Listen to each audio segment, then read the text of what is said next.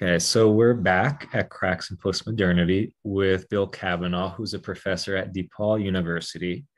And I first discovered your work through Torture and Eucharist. Um, the title is lovely, very exciting. Um, but so the, I was really fascinated by a lot of the ideas you were talking about there. Um, and then I discovered next the myth of religious violence, in which you talk about this kind of thesis about secularism. So let's start there. What, what uh, can you summarize some of the main ideas in the myth of religious violence? Sure. I, I, I had a friend who was a priest who once told me that torture and Eucharist are the two principal parts of the Mass. First, there's the homily, which is torture, and then comes Eucharist. That makes sense. Um, and that makes sense. yeah, so the myth of religious violence, um, that's another title that's meant to be a little provocative. A lot of people hear it and think, you know, the myth of the spherical earth or something, that I'm a flat earther and I'm denying what's obviously true. Um, but the argument of the book is not that people don't kill for, uh, you know, Christianity and Islam and Judaism and so on. Uh, the argument is that there's nothing essentially different about killing uh, on behalf of a god and killing on behalf of a nation state or oil or freedom or the flag or all of the other things that people kill for. Um, people treat all sorts of things as if they were ultimates.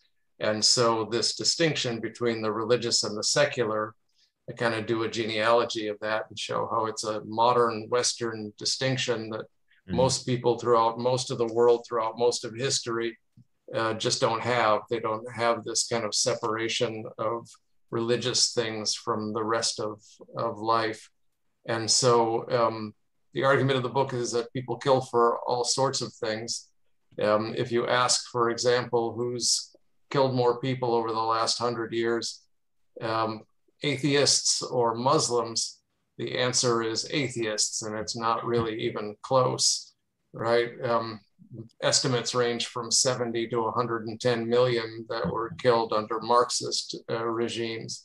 And so it kind of levels the playing field. There aren't these kind of, you know, religious people who believe ridiculous things and kill people because of it. Uh, and then kind of sane secular people uh, who kill for more, you know, sensible reasons. Um, it's much more complicated than that. And so you level the playing field uh, between so-called believers and non-believers by pointing out that everybody believes in something right? Don't tell me uh, i'm a believer and you're a non-believer. Just tell me what you believe in and i'll tell you what i believe in and then we can have a, a conversation. So no one is truly secular then if we all believe in something. Yeah i mean the novelist david foster wallace in that famous uh, commencement address to Kenyon College he gave in 2005 said, uh, in the actual everyday trenches of everyday life, there's no such thing as atheists. Everybody worships. The only question is, um, what do you worship? Mm-hmm. And he says the only reason you might want to worship a god or some other kind of spiritual thing is that everything else you worship will eat you alive.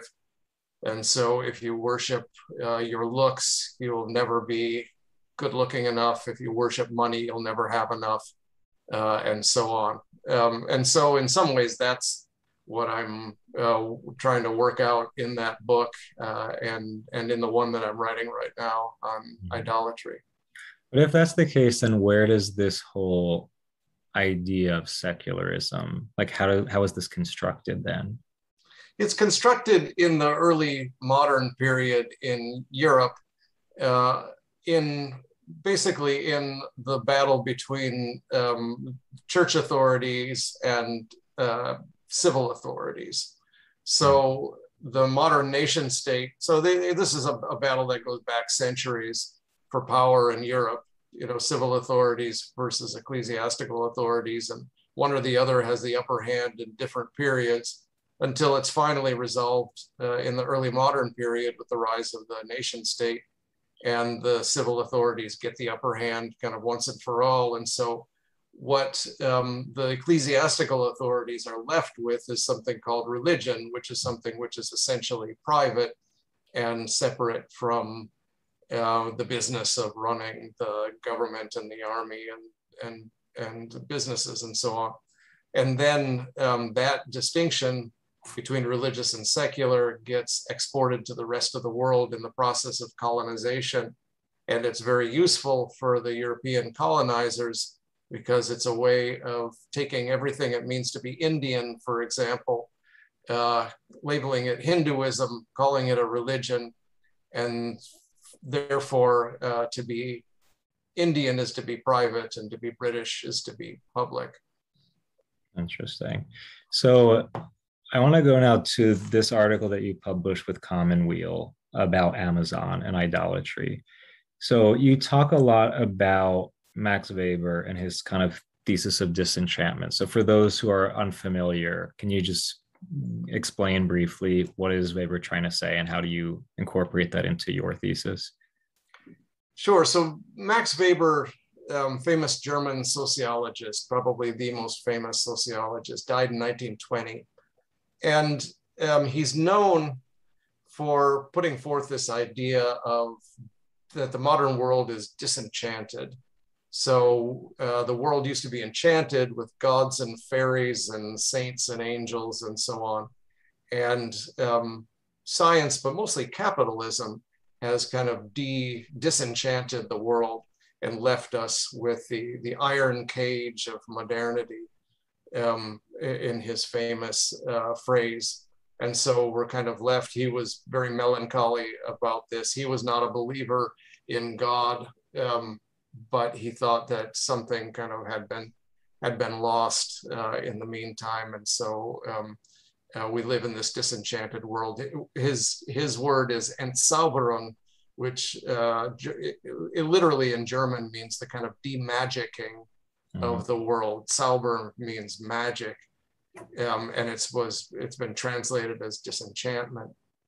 So that's the way people usually read uh, Weber, and so I go back, uh, this is actually the first chapter of this book I'm writing now, and look at Weber. And I think he's not so sure about this. Um, he talks about, um, he, he says, many old gods rise from their grave and take the form of impersonal forces. And he talks in many places about the kind of rule of capital, not, not capitalists, but capital um, and the state and bureaucracy um, over people's lives. And so he kind of has this way of thinking uh, that we create the, we may have vanquished the old gods through this process of rationalization, but now we're left then with this kind of um, arbitrary choice of values um, because science can't answer the question of what really matters in life and values. And so you just have to make this kind of arbitrary leap of faith and choose one. And um, you choose amongst the gods, uh, but there are some gods that have just been imposed upon us, and and we um, we have no choice. So he has this kind of um, uh, idea that we've just been entrapped. We we uh, are subject to we're dominated by the forces of our own creation you know, we never, there, he doesn't believe there ever were any gods or fairies or mm-hmm. angels and so on. But he thinks that capital and the modern state and bureaucracy are basically the same kinds of things that we create uh, these systems and then uh, become dominated by them, just like Frankenstein. You know, the, the, mm-hmm. the Frankenstein monster says, um, uh, you know, um, you are my creator, but but you must obey me. Uh, and so, um, so Marx thought that once we figured out that the gods were made up, uh, then we'd be we'd throw them off and we'd all be free. But Weber, I think, thought that we're just kind of we we are fated to be subject to other gods of our own making. So so he doesn't believe that we're disenchanted. In other words, he believes that there are many old gods mm-hmm. uh, which rise from their graves and uh, and rule over us. So the, the title of my book is going to be Many Old Gods. hmm. uh, in honor of old Max Weber. So, um, so even Weber doesn't really believe that that we've been disenchanted. Okay, so while Weber and Marx may not agree on this point, um, you do incorporate Marx's idea of fetishism that I guess he thinks capitalism breeds. So, what is this fetishism, and how do you see it um, coming up in the way that we, the way that brands market themselves, sell themselves to consumers today? Right. So Marx, in the first volume of Capital, has this idea of commodity fetishism. Mm-hmm. Um, and a fetish is uh, basically something, an inanimate object that is endowed with magical powers by, uh, by people, right? People kind of attribute um, all kinds of powers to uh, a, a material object and so he thinks that this is uh, endemic to capitalism. It's not just an accidental feature where some people are greedy and materialist and put too much importance on material things. It's rather that um, uh, in the market, things uh, go into the market and uh, begin to interact with one another uh, and kind of take on take on life while at the same time uh, life is being drained away from the workers. And so, um, uh, and he, he was writing this long before um, the advent of mass advertising, uh, before the advent of brands. And it's all uh, very kind of clear to see in, in the development of those things into the you know, late 19th into the 20th and 21st centuries. So um, the idea that, um, well, brands, for example, right? There were, it used to be, you, you didn't have brands. You went to the store and if, if you did go to the store, most of the stuff that people had, they made for themselves. But if you go to the store in the early 19th century or, you know, the storekeeper is fishing um, pickles out of barrels and um, and you buy a shirt or a chair uh, or you know other sort of commodities and they don't have names to them. So brands originally uh, i think tobacco companies and patent medicine sellers in the 19th century are the first to use brands. And it comes from this idea of branding uh, a, a, big wooden box of tobacco uh, on it um, so patent medicines, uh, which are basically just hokum and tobacco, uh, it's, it's interesting that, that brands kind of originate with that. And so that by the 1880s, then you've got the Quaker Oats man, kind of one of the first successful brands, and and products become animated, and uh, and this then, of course, just takes flight uh, into the 20th century. The animation of products, and a lot of scholars think that um, products become personified uh, as the economy gets depersonalized, right? So once you um, uh, no longer know the your local storekeeper or no longer know the person that has made your products, then the whole process becomes depersonalized and and that personality then has to be attributed to um, to the actual material objects that you interact with because you don't really interact with people. And and something like amazon you know online shopping has taken that to a whole new level. So that um, you go on amazon.com and you don't see any people. There are no people uh, it's just products. And so you interact, you establish these relationships with products, and then you click on something, and then it magically appears on your doorstep a couple days later, and there you've had no interaction with any human beings at all. Your only interactions are with uh, the product. And so the Amazon package has a smile on it, and the packages sing and dance in the commercials and the garage doors talk to one another and they have faces. Uh, and the people working in the Amazon warehouse don't have uh, faces. So this, this process of the animation of products, there's a whole uh, bunch of uh, literature and studies that have been done on animism and anthropomorphism uh, and personification uh, of products. And you can see it, you know, why does my baloney have a first name? If you remember the, the ad from yeah. the 1970s, my baloney has a first name, it's OSCAR. My baloney has a second name. Why does your baloney have a name? Well, because the people that make it and bring it to you don't have names, right? Or faces. Uh, and this accelerates once manufacturing gets mostly sent uh, overseas, uh, you know, the whole process of globalization. So we relate to products and we don't um, have relationships with people. And that's the kind of economy uh, that we live in.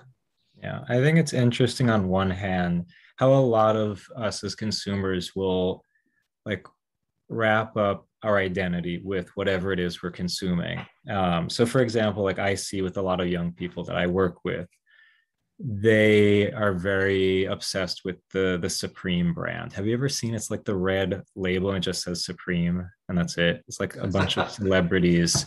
Like people will pay two hundred dollars for a white T-shirt with this logo on it. it's just a white T-shirt, but you know they saw Kanye wearing it or J. Cole was wearing it. So I have to have it now because if I have it, now I'm on their status, you know. So it's like, I mean, it's what you say, it's this idolatry of, you know, some kind of ideal which isn't actually substantial.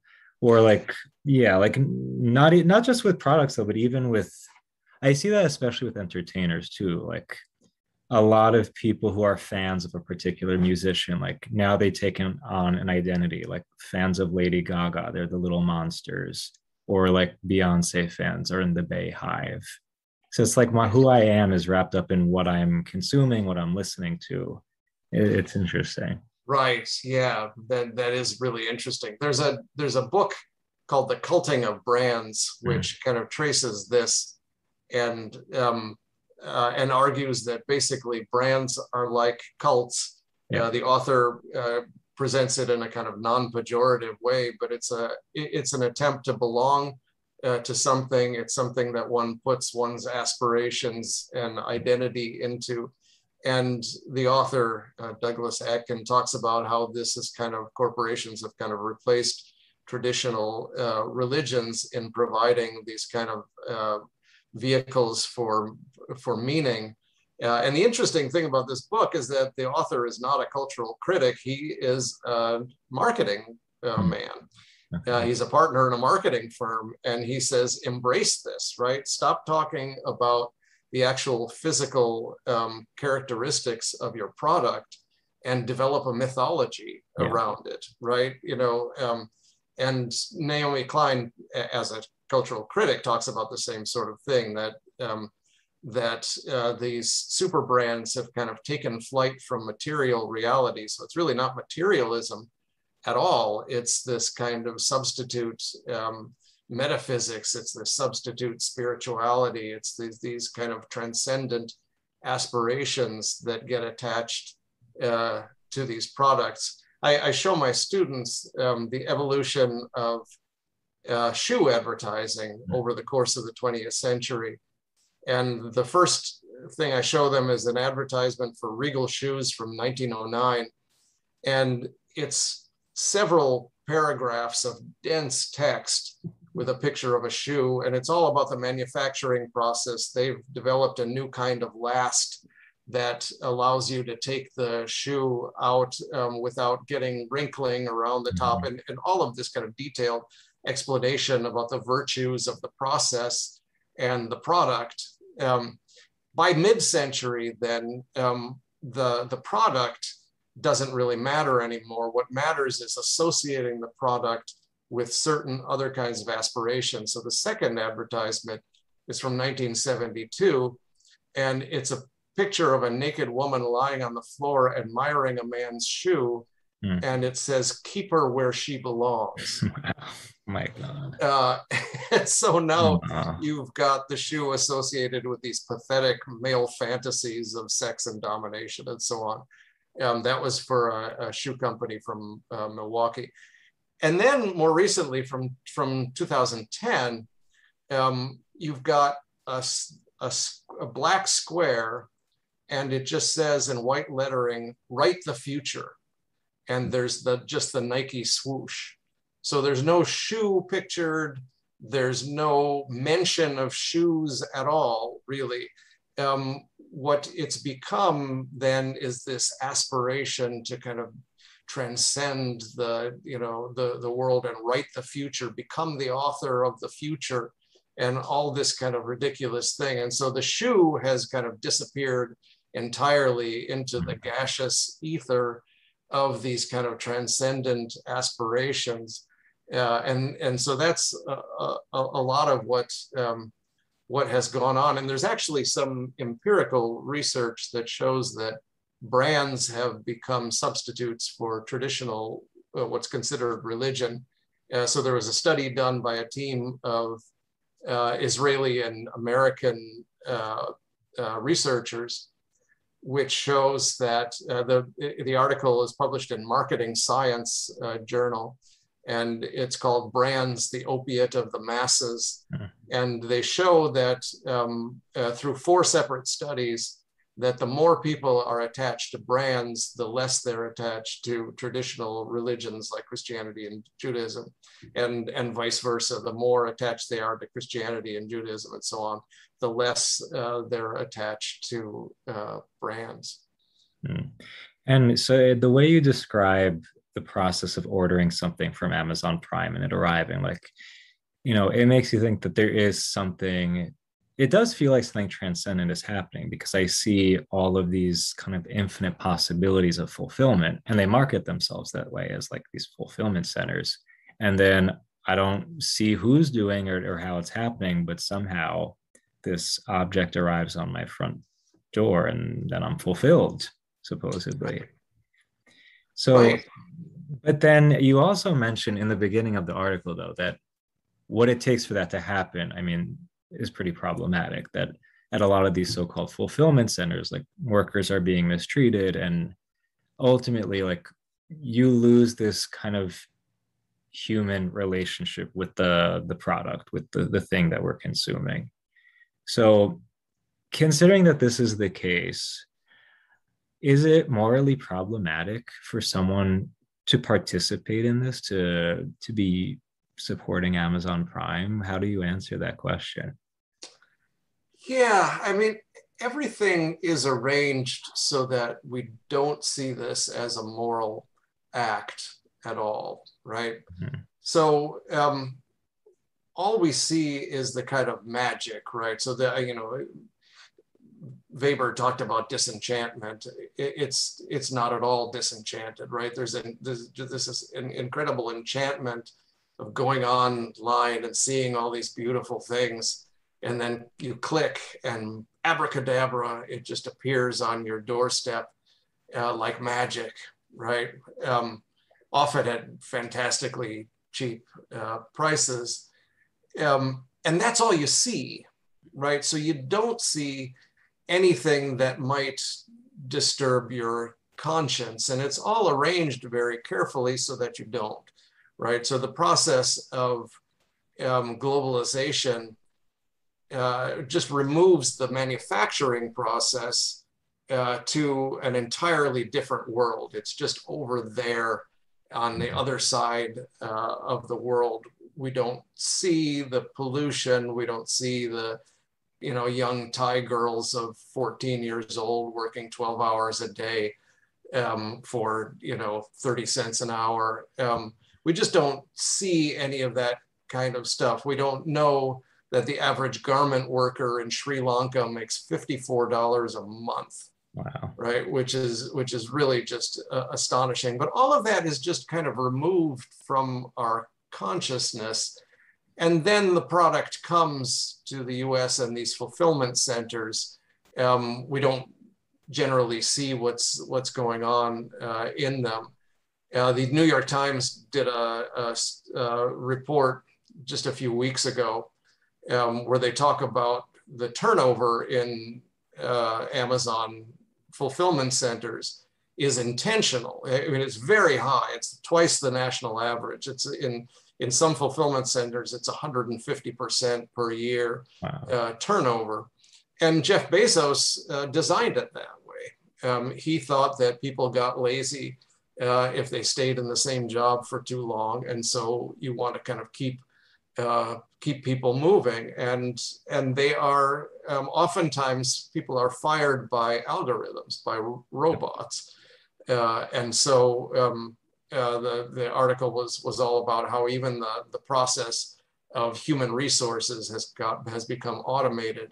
And the, every, every movement of the workers in these uh, fulfillment centers is monitored uh, and rationalized. So the, the opposite uh, of the kind of magic and enchantment is this intensely rationalized process where every movement of the workers is monitored and you know you, you your handheld device says you've got 14 seconds to go over to aisle four and get this product out of bin number 37 and and your pick rate is is being monitored and and all of that kind of stuff so, but all of that, of course, is um, is just invisible uh, to us. So, um, in 2020, uh, Jeff Bezos's net worth increased by 67 billion dollars, with so 183 million dollars a day, um, and the average, according to Amazon uh, file, uh, court filings in March of 2020, uh, same year, uh, the median uh, salary for a warehouse worker was $28,800. Uh, that's the median. So, meaning half of the warehouse workers are making less than that, while Jeff Bezos is making $183 million a day. So, th there's this kind of intensely uh, exploitative um, process that's going on that we just don't see, right? I mean, increasingly more people uh, are becoming conscious of it and seeing it, uh, but it's designed so that we don't see it. You just fall in love with the product, you click on it, and it appears on your doorstep. Um, so the first process in, in, developing a moral compass, it seems to me, is just seeing uh, what's going on, right? You know, when Jesus is talking about the, the final judgment in Matthew 25, uh, the people uh, that are welcomed into the kingdom of heaven uh, say, Lord, when did we see you uh, hungry and thirsty and naked and in prison and so on? And he says, whenever you did this to the least of my brothers and sisters, you did this to me. But the whole question is seeing, right? When, mm-hmm. when did we see you uh, uh, this way? And it's, it, he's, Christ is inviting us to kind of see Christ in other people. And so it's this, the, one of the first acts of having a moral life is just seeing, right? Seeing what's going on, seeing other people uh, especially. And our whole economy is designed so that we don't see uh, people in, uh, in the process. All we see are products. Uh, and so I, I, think this is a, I mean, it's a moral issue. It's an intensely moral issue. It may be the, um, the, the, the, most important moral issue um, that, that we have. Uh, before us today. So, um, so yeah, I, I, I don't want to shy away from that and just dismiss it and say, well, you know, what can you do? Because on one hand, I think there's the question of the treatment of the workers, but then it's also, I think, for our own well being as consumers or buyers, because I see for me that the the prospect of using Amazon Prime to buy something that I need it totally cuts out the kind of human dimension of of obtaining goods you know because you're as you said like you don't see who's making it you don't see anything of the process you don't have a relationship with them. Um, it totally removes the level of risk so like i can just sit in my bed and click a button without interacting with anyone and that's like super comfortable but again it's a question of like does this really fulfill me is this make my my uh, experience of using this product more meaningful? The answer is no. So I think on on the other hand, like we have to think about ourselves. But the problem is, so many of us are we've gotten very comfortable with this, and I see for me like if I know I need to buy something and I don't, I'm not going to use Prime, then I have to actually drive out to a store and I have to arrange with my schedule to go when I'm not working and while the store is open. And what if they don't have it? Or what if I need to return it? And then I have to interact with people. It's like, it's easier said than done. Oh, it so is. What do, you, what do you do then? Like, how do we reaccustom ourselves to like having a more human experience of buying products? Right, and that's a that's a great question. I mean, um, certainly um, there are times when you've got to order something online. It's just not available uh, locally.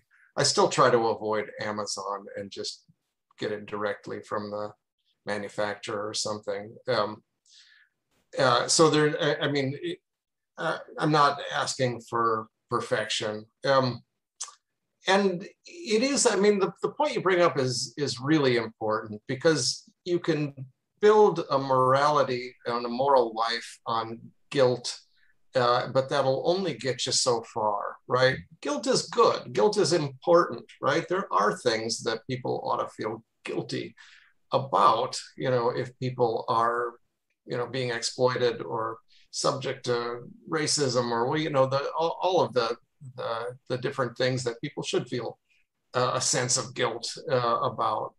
But ultimately, you can only get so far uh, building a morality on guilt, and you have to ultimately build it on joy, right? And so, this is what I think Pope Francis is kind of so good at calling us towards. He, he, he hardly ever talks about the economy without calling it idolatrous, right? Mm-hmm. Um, and he can be very harsh in his critiques. But ultimately, he's calling us to a sense of joy and reconnecting with the earth and with other people and with God uh, in a way that that brings us joy, right? Evangelii Gaudium, right? The, the joy of the gospel. Uh, Wendell Berry has an essay called The Joy of Sales Resistance, right? It's not about um, uh, feeling bad about things and kind of denying yourself a certain level of pleasure. It's about reconnecting with the physical world around you. It's about coming down. Uh, it's about the pleasure of going to the farmer's market and meeting the farmer and knowing, you know, having that that good sense that you're participating in a sane economy that is contributing to the well-being of the earth and the well-being of the farmer and the farmer's family. And it's chatting with them about how their chickens are doing and um, all of all of that kinds of thing you know just little sorts of things that bring uh, people joy and and reconnection. Uh, and and not every economic transaction is going to be that uh, joyful. Um, but when you begin to examine your economic life, your life as a, a consumer and as a producer uh, in in this light, and you begin to kind of make changes, I think it brings a, a, a real sense of uh, well-being that uh, you can't get just by trying to ignore what's going on and um, and just being subject to um, the way things are, right? That's one of the one of the greatest heresies and problems is the assumption that the way things are is just the way things have to be. You know, we we we hear about market forces all the time. You know, well, that's just the way it is. People need to manufacture things as cheaply as they can because people want to buy things as cheaply as they can. And if the workers get screwed in the process, there's just what can you do about it? There's just market forces. And so we're constantly being told that it's just the way it is and there's nothing you can do about it. Um, and I think kind of reclaiming a sense that it's not just the way it is, that it's not what we're fated to, that we do have choices, that we can uh, do things another way is very liberating and and joy joy giving I don't know. I mean, to be honest, sometimes it feels like there are so many forces conspiring against this. Like there's so many factors that contribute to like the depersonalization of just the process of buying, consuming. Because yeah, it's like I would like to go and buy things from someone who I know and who I have a relationship with, but it just feels like the way life is ordered now, the way society is ordered is just not conducive to that. So it's I just feel like it's very easy to feel like this is all futile and like we can try to resist, but I don't know. Like, what do you do with that sense of, I guess, despair or futility? Um, you don't give in to it, mm. right? Um, I mean, yeah, there's a lot of things conspiring uh, against us, right? But that's the ultimate victory is to to instill in the ultimate victory of the forces that are conspiring is to get people to think that there is no alternative right? There is no other kind of economy possible. It's just the way it is and it's inevitable and there's nothing that can be done about it. Uh, and so even simple and small acts of resistance i think are um, are, are really important uh, in reclaiming the narrative that the things things are not just the way they are right? And i think this is this is an imperative. If you're a christian this is not optional. Hope is not optional. Hope is an imperative right? It's one of the theological virtues and it's it's there in the genesis story right? The fall is a statement of tremendous hope, right? Because the fact that there is a fall from grace means that the way things originally are and the way things really are is good. And uh, evil is a kind of falling away uh, from that, as opposed to the Babylonian creation story, which says things are just messed up from the get go mm-hmm. and there's nothing you can do about it, right? And so um, that's that's an imperative of our faith. I think is to uh, is to reach out in ways uh, small and great uh, uh, to to make things differently. So I'm not just talking about people with the leisure and the money to you know buy organic because I know a lot of people can't do that. But I'm talking about structural things as well, supporting uh, unions, for example. I mean, Amazon has been very good at crushing every attempt to bring unions into their warehouses. Uh, and I think that's a problem, right? But so, the, so some of these kind of structural changes that can be made uh, are important for Christians to be involved in too. It's not just a matter of, uh, I've been talking about it at the level of the consumer, but I think there's there are much larger uh, changes that can can be made as well.